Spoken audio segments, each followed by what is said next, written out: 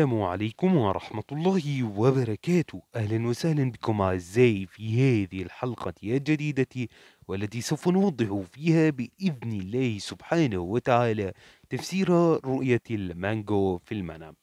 بداية أعزائي قبل نبدأ هذه الحلقة أطلب منكم بأن تقوموا بذكر الله سبحانه وتعالى والصلاة على رسول الله عليه الصلاة والسلام. بداية رؤية المانجو في المنام تشير وتدل على التيسير وتسهيل الأمور والمصاعب في الحياة باختلاف أنواعها وأشكالها.